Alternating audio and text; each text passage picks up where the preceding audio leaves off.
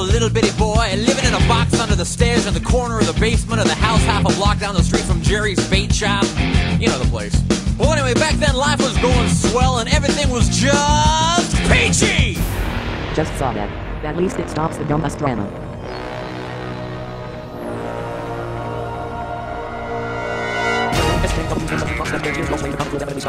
I'm not quite sure if innocent my ass is what I want in life. I just treated the entirety of Hussie's first twice, and it was honestly public. He just wants to be a funny guy, not someone whose jokes cause people to discredit pissy people who might voice complaints. Hot guy. Jesus Christ, dude, could you please stop donating Duzzy at every opportunity? Seriously, anytime anybody implies that Duzzy is not a perfect God, you show up to sing his praises like a goddamn gospel song in a black church. More like Henry Duzzy had on a Sunday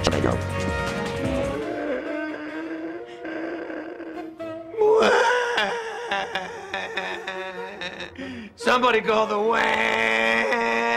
ambulance. What did you say? Yes, the thread is in uproar. They're all flipping shits over the peachy thing. Yes, I have several people who have allied with me, they have no reason to suspect my intentions. The reblogging proceeded, as planned, thus he locked down most of his site and generally seemed pretty tumble around. Yes, sir. Absolutely. I'll see who else I can rally before then. Have a good evening. Mr. North?